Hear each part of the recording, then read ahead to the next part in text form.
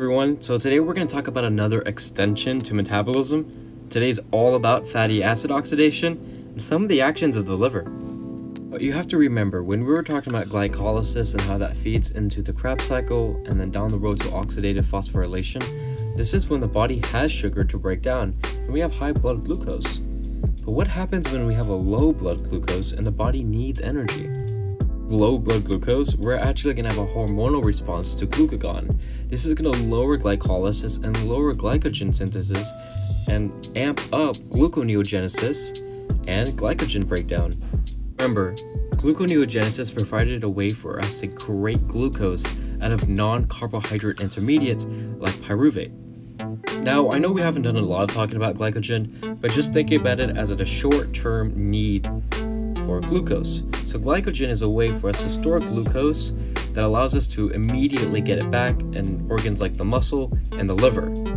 And when we have gluconeogenesis, we have to remember that it is energy expensing. We have to use ATP to get back to glucose. So between glycogen and gluconeogenesis, we're not doing a really good job at sufficiently building enough glucose to respond to the fact that we had a low blood glucose. This is when we actually have the conversation about fatty acid oxidation in the liver. When the glycogen storage in the liver goes around 20%, this is when the liver is going to start activating to break down fatty acids and triglycerides into energy form. The beautiful thing about fatty acids, when thinking about energy compared to glucose, is that the fatty acids are more reduced than glucose they have more potential for more energy output. So we can acknowledge the power or the energy that comes from fatty acids. But how are they stored?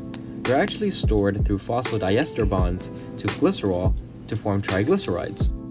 When we get that hormonal response that we have low blood glucose and that a lot of our glycogen storage is used up, this is going to trigger specific enzymes to break down triglycerides. Glycerides are broken down to glycerol and free floating fatty acids by lipoprotein lipases. These will go ahead and cleave those phosphodiester bonds on glycerol. The majority of energy from triglyceride breakdown does come from the fatty acids, but the body can break down the glycerol molecules from process working with two different enzymes, glycerol kinase and glycerol 3-phosphate dehydrogenase. This would take glycerol all the way to dihydroxyacetone phosphate, which would then enter glycolysis. Now that we've broken down the glycerol molecules, now we're going to start thinking about the fatty acids. Now the interesting thing about fatty acid breakdown is that we first have to activate it. This helps us get it inside the mitochondria, because the long fatty acid chains have a trouble when going inside the mitochondria.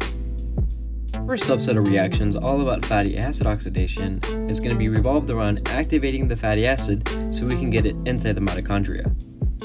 First main reaction here is binding the fatty acid to fatty acyl-CoA synthase. And once it's bound, then we can react it with acetyl-CoA to give us our fatty acyl-CoA. The driving force for this reaction that makes it so favorable is that we're not doing a phosphorylation, we're doing an adenylation. This is when the fatty acid reacts with ATP to then kick off pyrophosphate. Pyrophosphate would then react with pyrophosphatase to release two inorganic phosphates.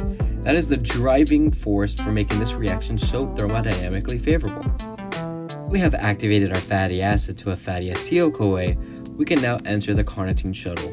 The carnitine shuttle is going to help us take the fatty acid from the cytoplasm into the matrix of the mitochondria. Now, scientists are not sure whether or not this first step of the reaction happens in the cytoplasm or in the inner membrane space.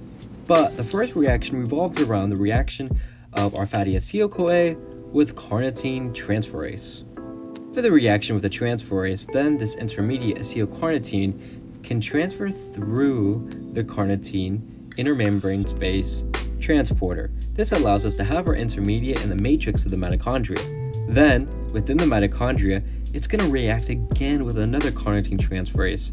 This is going to have the reverse reaction now and give us back our fatty acyl-CoA. Carnitine is then going to go back up throughout the process the cytoplasm to continue the shuttle.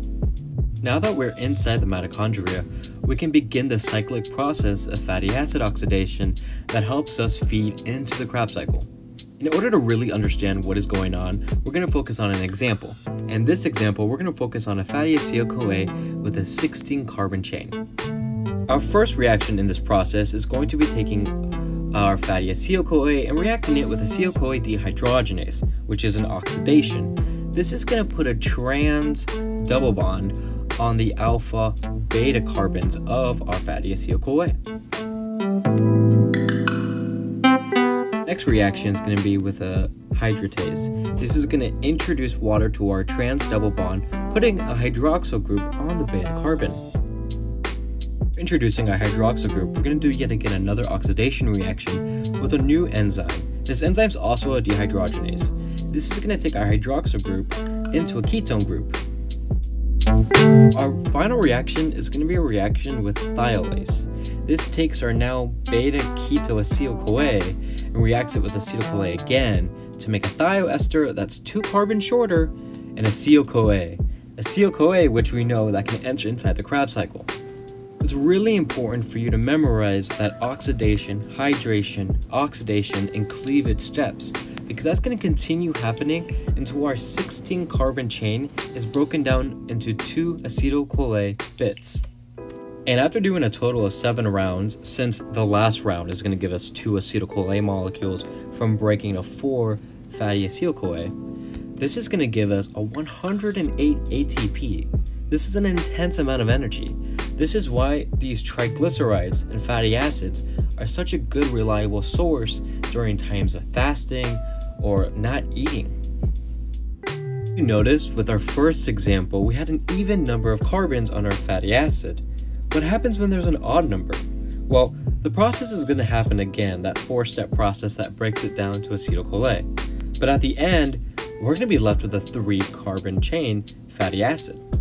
Now, what happens this, in this step is a little different.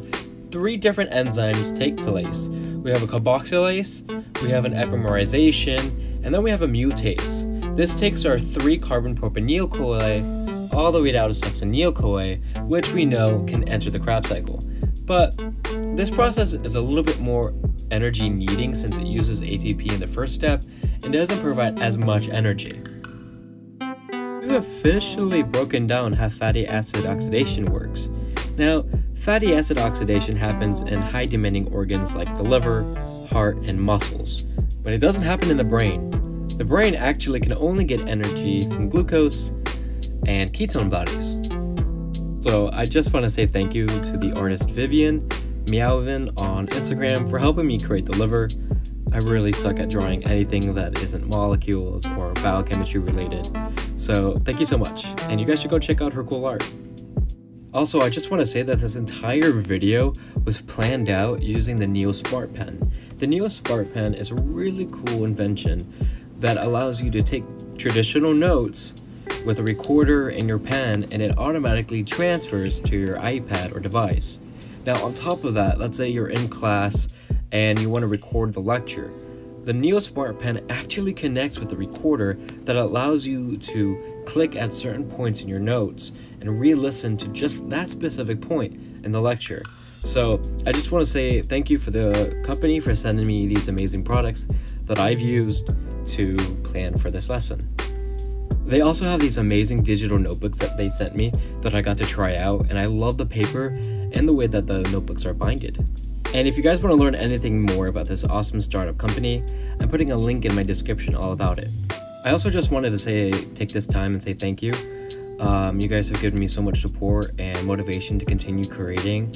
Um, but I just wanted to say that I do have some avenues if you want to support and help me continue creating, I have a Patreon where I allow um, a Patreon only Discord community, um, and some tiers allow for monthly shoutouts.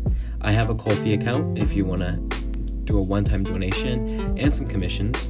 Um, sharing any of my content really helps. And I also have a merchandise store where I'm selling some shirts, oversized sweaters, posters, and I'm currently working on my first book covering all of glycolysis with my proteins and infographics. So, thank you so much, and I hope you guys have a great day.